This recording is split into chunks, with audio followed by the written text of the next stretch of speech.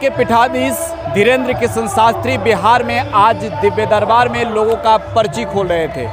बता रहे थे कि किसकी अर्जी लगी है और जो वो पत्र बनाते हैं, जो अर्जी स्वीकार होती है, जिनकी उसमें तमाम चीज़ें लिख दी जाती है पहले से ही बाबा की ओर से और आप अपनी बातों को रखते हैं, उस पत्र में हु बहू वही चीज़ें लिखी होती है। लेकिन पटना के नौबतपुर में अगर भीड़ की आप बात करें तो 10 लाख लोगों के करीब जो है आज इस बाबा के दिव्य दरबार में लोग पहुँचे हैं। हमारे साथ एक शख्स है जो श्रद्धालु है, ये नालंदा से आए हुए हैं और इनकी भी अर्जी स्वीकार हुई, लेकिन भीड़ के वजह से बाबा तक नहीं जा सके तो इनसे ज़रूर जानने की कोशिश होगी कैसे आपकी अर्जी स्वीकार हुई।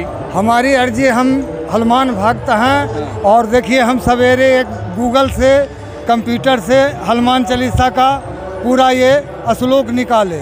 और जब से हम यहाँ आए इनको पढ़ते रहे। तो पाँचवा नंबर में अरविंद कुमार करके बिहार के बुलाए कि अरविंद कुमार आ जाए। लेकिन यहाँ के सिस्टम खर्चा बहुत ज़्यादा किए हैं लोग बाग। लेकिन बाबा भीड़ पहुँचने का कोई रास्ता नहीं मिला। तो जीतना कोई अरविंद कुमार गया कि नहीं बाबा के नहीं कोई नहीं गए। हम देखते रहे फिर दोबारे भी बोले लेकिन कहीं से रास्ता नहीं मिला। देखिए गमछा था ऊपर वो भी भूल गया। उधर से पुलिस वाला रगे थे मीडिया वाला तक के रगे दिए हैं कि एक नहीं जा टीना गिर गया आदमी पर। मीडिया वाले टीना के नीचे हो गए फिर भी कोई सुनवाई यहाँ पर नहीं हुआ। तो अब अब अब क्या करें? भगवान तो अर्जी लगा दिए लेकिन यहाँ के सिस्टम ऐसा है पुलिस लोग को कि किसी को समझते नहीं। आप आप ये चीज़ मानते हैं कि बाबा जो पर्चा खोलते हैं जो अर्जी जिन लोगों की लगती है वो बनावटी नहीं होती है वो दिव्य दरबार में भगवान के दया दुआ हाँ हाँ। बनावटी नहीं है सरकार इसलिए कि हम लोग वहाँ भी देखे हैं। और ये बाबा बोलते हैं कि आप भगवान के नाम लेते रहिए बालाजी का नाम लीजिए सन्यासी बाबा के नाम लीजिए हनुमान चालीसा के पाठ कीजिए आपको अर्जी ज़रूर लगेगा। और हमारा पूरा विश्वास था कि हमारा अर्जी लगेगा लेकिन यहाँ का सिस्टम ऐसा है कि हमको वहाँ तक बाबा तक जाने में बहुत असमर्थ रहे नहीं पहुँच पाए। अच्छा क्या कहना चाहिएगा? अब आप कहना चाहेंगे कि खर्च बहुत ज़्यादा किए हैं लेकिन जिनकी अर्जी लगता है उनको वहाँ तक पहुँचने के लिए कोई रास्ता नहीं रहा।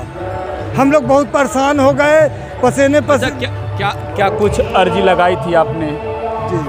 अर्जी वहाँ पर एक नारियल बाँध के आए थे बाबा के नाम से। कहाँ पर? तो घर पर कि बागेश्वर धाम जाएँगे तो वो नारियल हम लेते जाएँगे। नहीं नहीं कुछ मनोकामनाएँ होगी ना कि बाबा हमारी ये चीज़ें पूरी कर दे। क्या मन्नतें थी आपकी? मनोकामना है कि बच्ची के शादी है तो बच्ची के शादी बराबर गड़बड़ा जाता है। तो वही मनोकामना लेके आए थे कि बच्ची के शादी हमारी हो जाए तो देखिए निश्चित तौर पर अगर अर्जी लगी है तो अर्जी स्वीकार भी हुई होगी। भले आप नहीं पहुँच सके हैं कुव्यवस्था के कारण नहीं पहुँच सके और ये लाजमी भी है।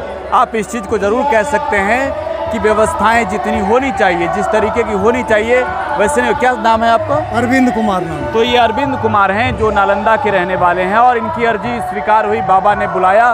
लेकिन भीड़ इतनी बड़ी है अगर आप चाहेंगे आपको दिखाना ये भीड़ इतनी ज़्यादा है ना कि आप जहाँ ये नहीं सोच सकते हैं कि मंच तक कोई जा कैसे सकता है। हालाँकि इन्होंने पूरी तरीके से जो है भरपूर कोशिश की लेकिन ये मंच तक नहीं पहुँच सके।